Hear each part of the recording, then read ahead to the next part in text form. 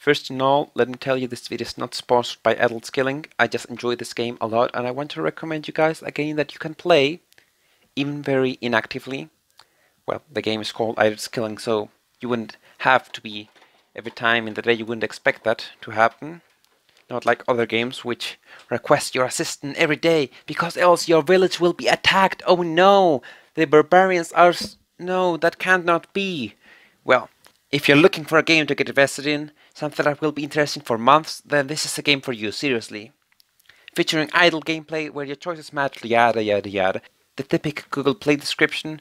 Does it really offer months of gameplay as it promises? Well, I've been playing this game for around 5 months, and I think it does. I haven't even gotten to the mid-game, I'm maybe to the mid-game, but I haven't reached the end game yet.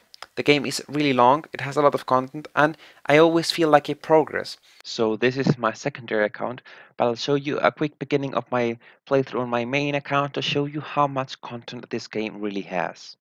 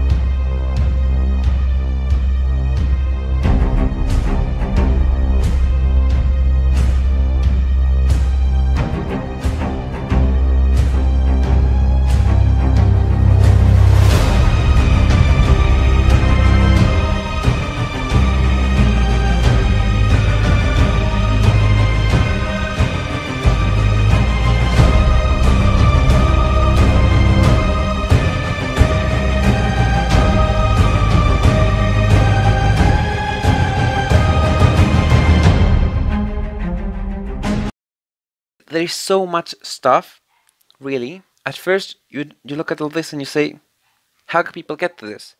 So at the first, you will get overridden by all the stuff there is, but with time, you will start to understand all the things that this game has to offer, and you think, oh, I finally mined all the ores there are, but no, you unlock more with Ascension.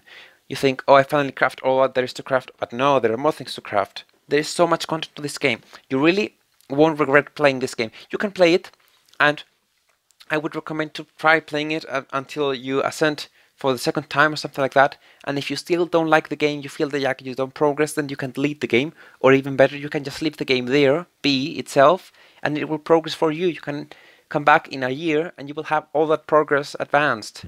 You won't advance that much, probably, but you will get progress just by not playing. So that's why this game is so good. And you won't believe this, but there is even more content coming. There is so much content and there is even more content coming. I really recommend you this game. I hope you enjoy the game if you play it. Maybe I'll review another game or recommend you another game in the future. Also, I have made a Discord server you can join. The invite will be in the comments and the, and the description of the video later.